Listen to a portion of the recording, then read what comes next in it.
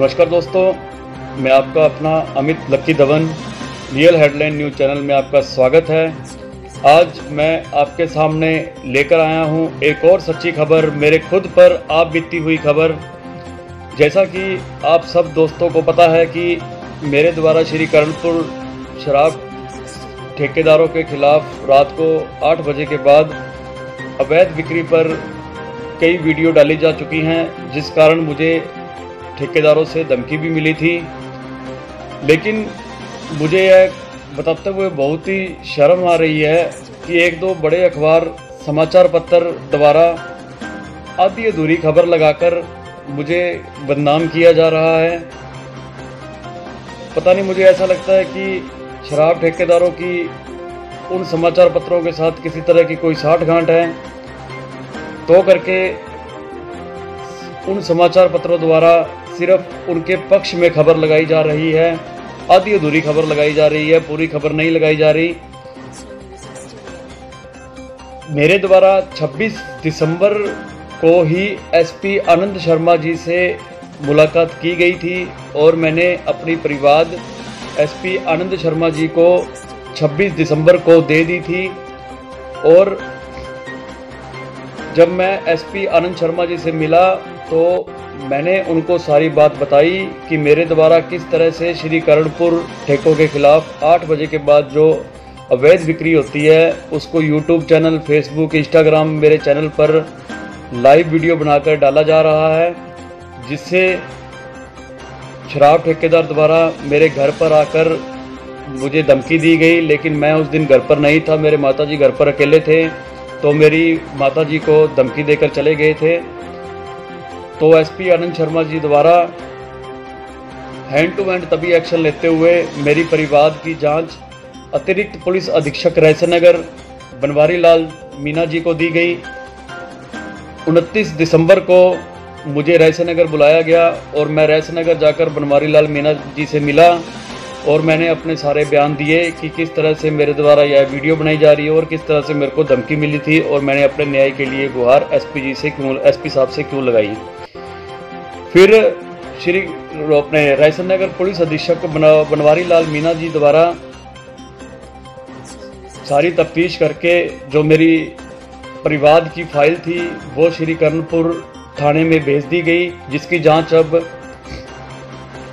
ASI Raja Ram Khot ji द्वारा की जा रही है।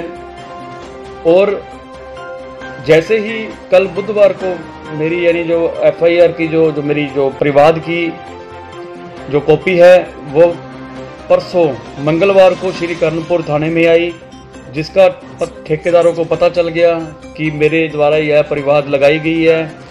तो कल बुधवार को ठेकेदार कपिल चुग को जैसे ही इस बात का पता लगा तो उसने अपनी तरफ़ से एक और परिवाद दे दी कि अमित धवन द्वारा मेरे से पैसों की डिमांड की गई, मुझे ब्लैकमेल किया गया और मेरे ठेके से फ्री शराब लेने के लिए आता है।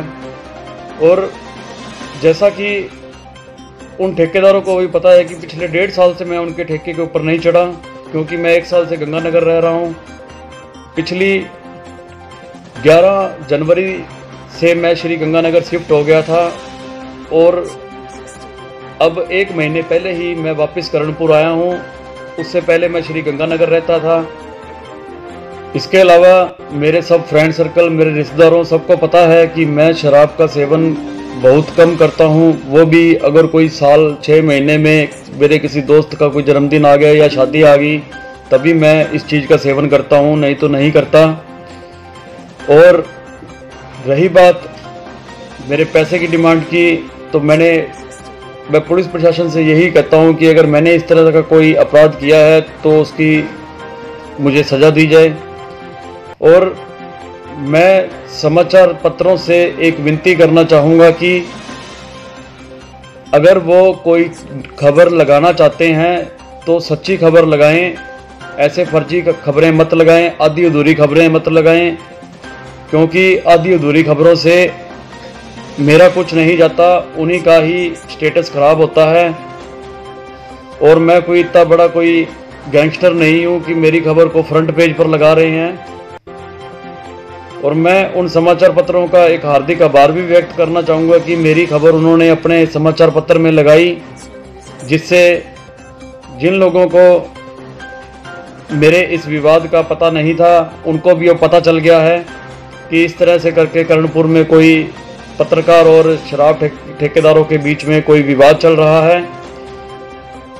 मैं से उन समाचार पत्रों से विनती करूँगा कि वो इस तरह की खबरों को लगाते रहें, चाहे मेरे खिलाफ ही लगाते रहें, जिससे दुनिया में जहाँ जहाँ उनके समाचार पत्र जाते हैं, उन सबको पता चलता रहे कि क्या कुछ हो रहा है। और इसी तरह फ्रंट पेज पर ही लगाएँ, मैं आपसे हाथ जोड़कर विनती करता हूँ जल्द मिलता हूँ आपसे एक और सच्ची खबर के साथ। आपका अपना अमित लक्की धवन, जय हिंद, जय भारत।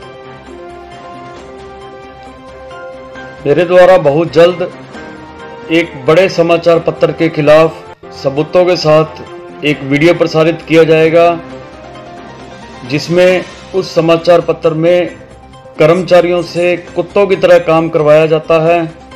और बाद में उनको निकाल दिया जाता है और फिर फुल एंड फाइनल सेटलमेंट नहीं किया जाता। रिकवरी का नाम लेके उनके सेटलमेंट को रोक दिया जाता है। मैं आपके सामने जल्दी ही इसका पर्दाफाश करूँगा, क्योंकि मेरे पास सारे सबूत हैं और मैं जल्दी ही आपके सामने इसको पेश भी करूँगा।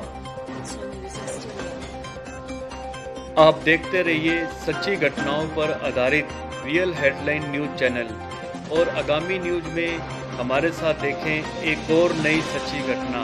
हमारे फेसबुक इंस्टाग्राम पेज को फॉलो करें और यूट्यूब चैनल को सब्सक्राइब करें और बेल आइकन को क्लिक करें। आपका अपना अमित लक्की धवन। जय हिंद, जय भारत।